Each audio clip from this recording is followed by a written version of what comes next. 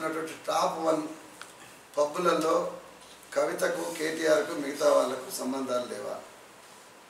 పేకాట క్లబ్బులు మూసివేస్తానికి నడుం కట్టినామని చెప్పారు మీకు సంబంధించినటువంటి పెద్ద పెద్ద నాయకులే దాంట్లో ఉన్నారని చెప్పేసి దాన్ని నీరుగార్చింది. ఇప్పుడు పబ్బులలో మొత్తం అందిస్తున్న పేరు కొత్తగా కథ నడిపిస్తాము మేము ఎవరం కూడా పూరి జగన్నాథ్ లేకపోతే చార్మి లేకపోతే ఇంకో పిల్లలు వాళ్ళకి సంబంధించినటువంటి దాంట్లో ఎంక్వైరీలు చేయొద్దు ఏం చేయొద్దని కూడా అంటుండే. అంటే చట్టం ప్రకారం ఒక మనిషికి ఉండే బేసిక్ ప్రైవసీని డిస్టర్బ్ చేసే రైట్ నీ అవసరాల కోసం ఎవడిచ్చిండని చెప్పేసి కేసీఆర్ని సూటిగా ప్రశ్నించదలుచు ఆ రైట్ అక్కున్ సబర్ వాళ్ళకి లేదు చంద్రవదన్కి లేదు. వాళ్ళు వాళ్ళ మాట్లాడే ప్రకారము nineteen eighty five narcotic substances act కింద మేము చట్టం ప్రకారమే పోతున్నాం అంటున్నారు కదా.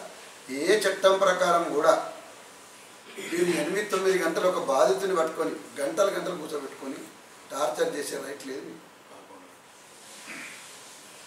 అందుకోసం అందుకోసమే బహుశా తెలంగాణ ఇంటి పార్టీ పెట్టడమా వద్దని ఆలోచించుకునే సంశయంతో పూరి జగన్నాథుని పూరా బర్బాద్ చేయడానికి వారి కుట్ర జరుగుతుంది మీరు అనుకుంటారు పోటీ పెట్టారు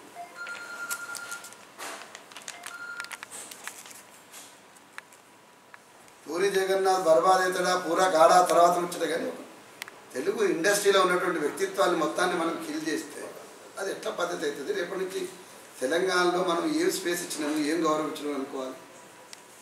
మీరు ఇచ్చే గౌరవం ఎవరికి వాళ్ళకి ఇస్తారు. సమంతకు బరాబర్ ఇస్తుంది నాగార్జున బరాబర్ ఇస్తుంది ఎన్కన్వెన్షన్ వాళ్ళు ఆక్రమించుకున్న అన్ని బరాబరే చూస్తే అన్ని బరాబర్ అయిపోయాయి.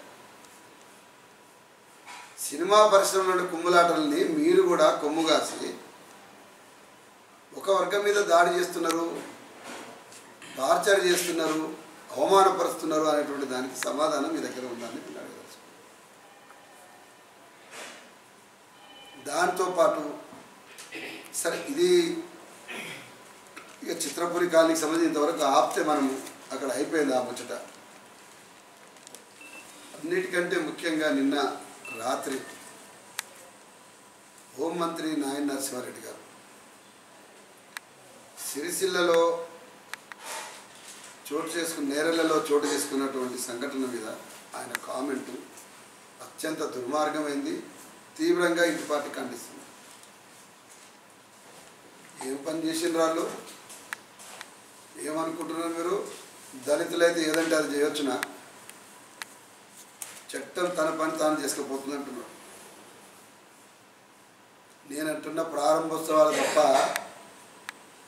హోమ్ మినిస్టర్స్ అన్నాడు పాలసీ లోపల ఎంట్రీ లేనటువంటి నువ్వేం మాట్లాడుతున్నావు నాయన నరసింహారెడ్డి